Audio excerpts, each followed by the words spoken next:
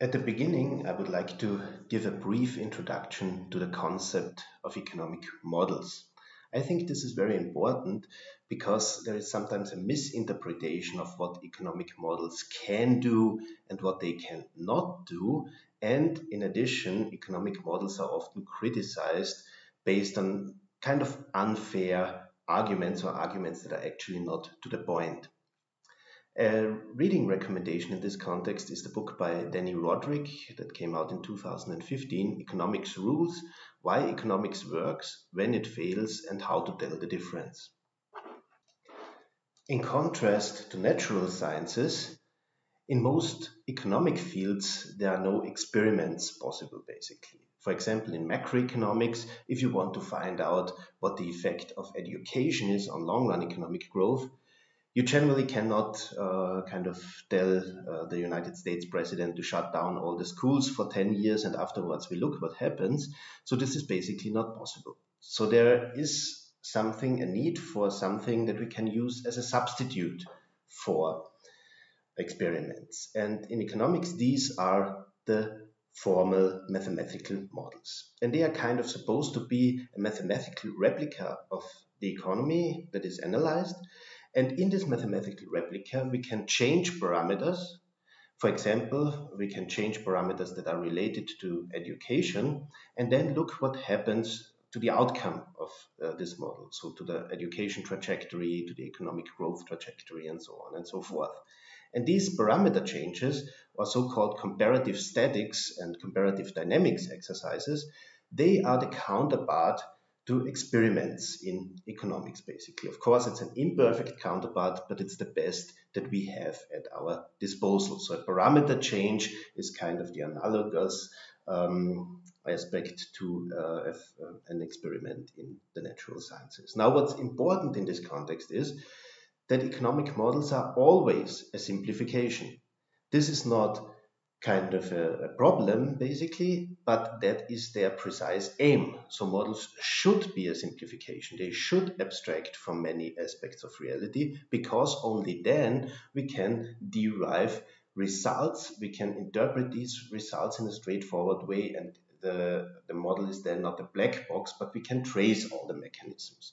And in this context, you can think of economic models like uh, being a map that helps us to to, to find a certain location. If you look for a location on a map, then it's usually a good thing that the map abstracts from certain aspects of reality that are not important for finding the certain location. So, for example, the map abstracts from trees or from street lights and so on and so forth because they do not help to find us uh, the certain location that we are interested in.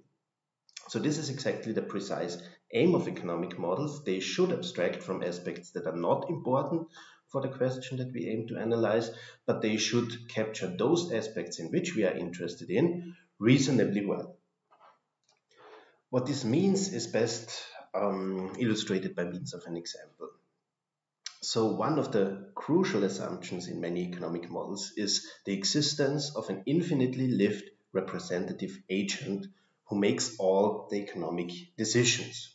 That's of course a simplification because then we do not have to deal with millions of people in an economy with different preferences. And um, of course, every economist knows that such an infinitely lived representative agent does not exist. However, with respect to many economic questions that we are interested in, this assumption is very useful because it simplifies uh, economic modeling considerably such that we can get insightful results, while it is at the same time rather innocuous so that means, for example, if you want to analyze aspects related um, to long run economic growth or to uh, the effects of monetary policies, then it's often not really important for the final result whether you assume millions of people who behave differently or one single representative agent. So for these questions, uh, the single representative agent assumption is justifiable. So in criticizing this assumption, the question should not basically be whether a certain simplification or a certain assumption is per se justified, but whether it is justified in the given setting and for the given question that we are interested, and particularly what the consequences of this assumption are for the outcomes. So, with respect to the infinitely lived representative agent assumption, for example, this could be highly problematic if we are interested in analyzing demographic changes, for example, increasing life expectancy. Of course, if you have an infinitely lived representative agent, it doesn't make sense um, to pose the question at all because they are infinitely lived by definition. Or if you're interested in aspects related to uh, inequality dynamics. Of course, if there is only one representative agent, then inequality is not defined in this context. So with respect to these questions, the assumption is not innocuous, but with respect to many other questions, this assumption is innocuous and um, basically unproblematic. Another example in this context would be the often criticized assumption that individuals are rational that is often made in economic models. Of course, this does not imply that economists think that consumers go to the supermarket and solve Lagrangians in front of the supermarket shelves, but the outcome of such a Lagrange optimization problem where you maximize your utility subject to a certain budget constraint is nothing else than that we buy those goods that we like at, for the given price. And if the price increases, we might reconsider our choice. So basically, it predicts individual behavior comparatively well. Now, this does, of course, not mean that there are not uh, certain departures from rationality, but the assumption of rationality actually leads to predictions that are reasonably well in line with what we observe in reality. The alternative assumption of irrational behavior, that would be completely out of line with all what we observe in reality. So for example, an irrational behavior would uh, arguably be if we are thirsty, that we go to the supermarket and buy a nail polisher and use it to wash our hair. And we don't usually encounter many people in the supermarket doing uh, such things. So basically, the rationality assumption is better suited to explain the behavior than many alternative assumptions. This does not imply, of course, that we should not refine the assumption of rational individuals, and this is done in a whole subfield of economics and behavioral economics.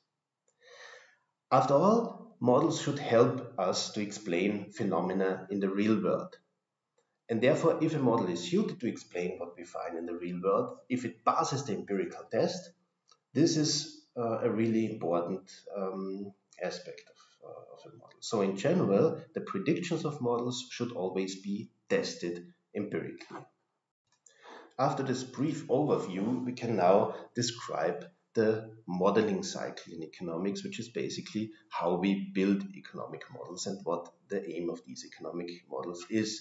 And here we typically start here in the lower left corner. We observe a certain phenomenon that we would like to explain. We observe this in the real world. For example, we observe that some countries are richer and other countries are poorer, and we would like to explain this.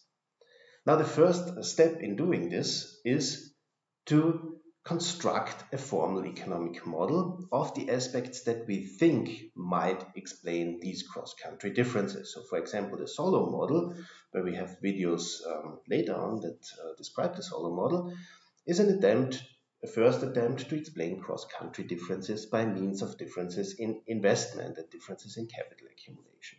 So what you do is you construct a model that should capture the aspect that you want to explain uh, reasonably well. Then you have a mathematical formulation, a formal model of the phenomenon that you would want to explain.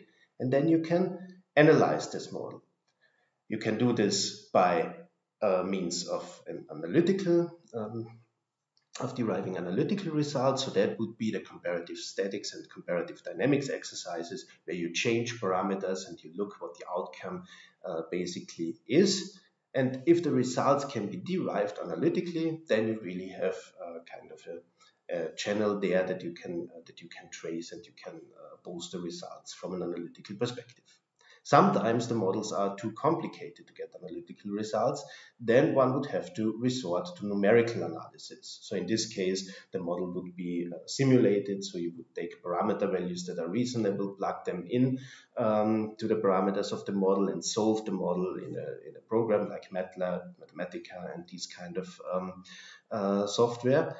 And you would also often calibrate the model, so meaning that you adjust the parameters in a way that the outcome trajectories fit to the real world uh, trajectories that we observe.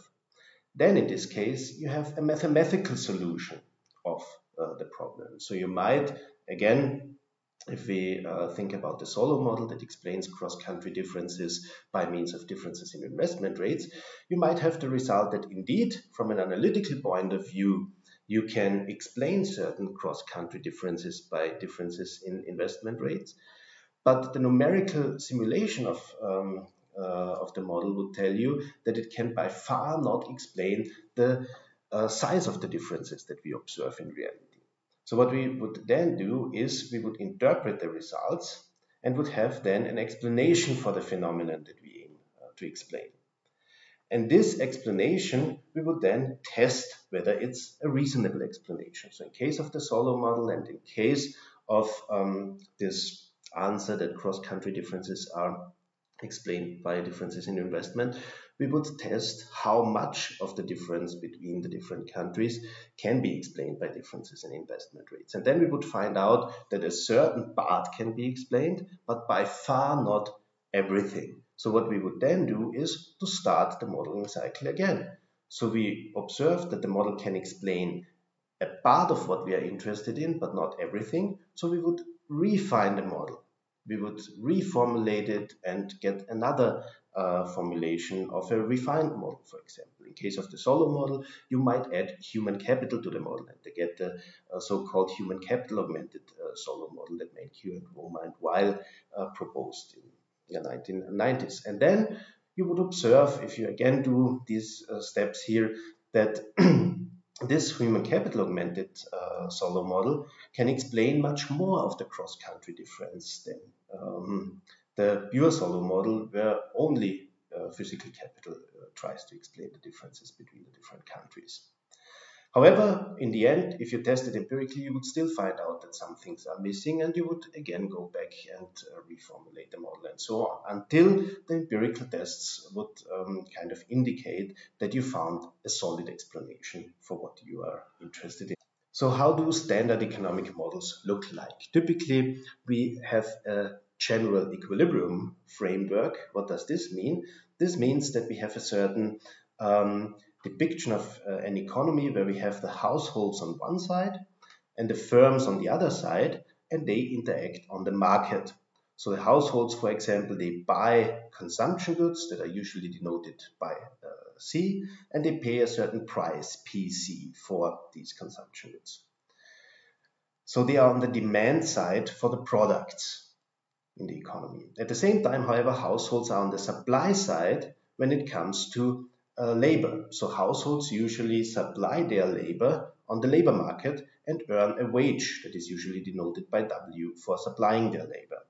And also they supply their savings. So you carry your savings to the bank or you invest it in the stock market. And for this you get a return, which is usually the interest rate. Um, and the interest rate is the rate of return minus depreciation that is typically denoted by delta on your savings. So the households are the demand side for goods and the supply side for production factors. On the other side, you would have the firms. The firms produce the goods. If it's produced, it's usually denoted by Y, and they get the revenues for selling these goods on the market.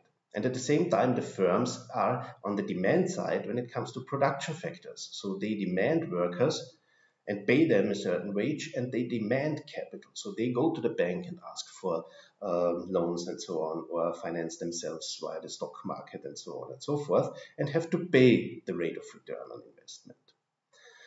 And then there is an interaction between these um, agents on the market. And the market basically ensures that a price vector in the end establishes such that markets are cleared. How does this work? Well, there are prices in the economy, not only for the goods, but the wage is also a price for labor, and the rate of return on capital is the price of capital, of savings. Now, if, for example, the firms would want to produce many more goods than the households would want to consume, then we would have an oversupply of goods, and that would mean that the price starts to fall. If the price falls, That means that firms would want to sell less of their uh, goods, of course, because they can earn less per um, good that they sell. And at the same time, the households would want to buy more of the goods because the price goes down. And this process would last until the market is in equilibrium again when supply is equal to demand. The same holds true for labor. So, for example, if uh, the wage rate is very low, households would probably not want to supply a lot of um, their work with a going wage rate. At the same time, firms would demand for a lot of workers if the wage rate is low. So the demand would be higher than supply, and that would lead to an increasing price of labor in this case, so an increasing wage rate. If the wage rate goes up, then then it's clear that firms would um, demand less um, labor because the price goes up, and at the same time, households might be willing to supply more of labor. This process would again continue until the market is in equilibrium anymore uh, again. So basically, in the general equilibrium, a price vector uh, establishes that ensures that markets are clear. And for this market clearing price vector, we can then usually compute the associated quantities. This slide uh, just shows again the notation from the previous slide. So we have that final goods production is usually denoted by Y. So that's output of an economy, or uh, also its gross domestic product, so the value of goods and services that are produced in an economy within a year. Capital is typically denoted by uppercase K, labor by uppercase and these are uh, the inputs for production. As I said, households buy these goods, so they uh, are on the demand side here, but they are on the supply side for the production factors. In equilibrium, demand should be equal to supply, and the prices, the price for the goods, for the capital, the interest rate, and the wages would adjust such that markets clear. Now, of course, this is a very, very simple structure of an economic model and it can be extended in various directions. For example, we could include a government that taxes incomes and might subsidize certain activities such as production, so they might have uh, subsidies for firms. We could introduce a central bank that supplies money and sets the interest rate and so on and so forth. And particularly, we could also introduce imperfect competition and certain market failures that might lead to situations when markets do not clear. And one such extension is uh, here on the next slide, where we have a, now a government. And this government, basically in this simple um, extension, taxes consumption, so you could have a value added tax. It taxes wages, where you could have an income tax, so T uh, denotes a certain tax rate. And it could also be a subsidy, or it could also, the government could also tax production of firms or tax their profits, but at the same time, they could also subsidize um, this. And if there is imperfect competition, for example, then firms might also make economic uh, profits. And the profits are denoted by pi. And then these profits, something has to happen with these profits. And typically, firms are again owned by households. So small firms are often owned by families or so on. Then the profits are again redistributed to the households, and the households can use them again to buy consumption goods. Um, so these families that own the firms can then use the profits or part of the profits to buy consumption goods. Or otherwise, if these are large firms that are traded on the stock market, then also investors uh, would be invested in these firms and they would get dividends and so on. So that would also be income that they can again spend on consumption goods. So this would be a brief overview on economic models, how they are structured, what they can do and what they cannot do, and uh, what we have to ask when we want to criticize assumptions. Thank you for your attention.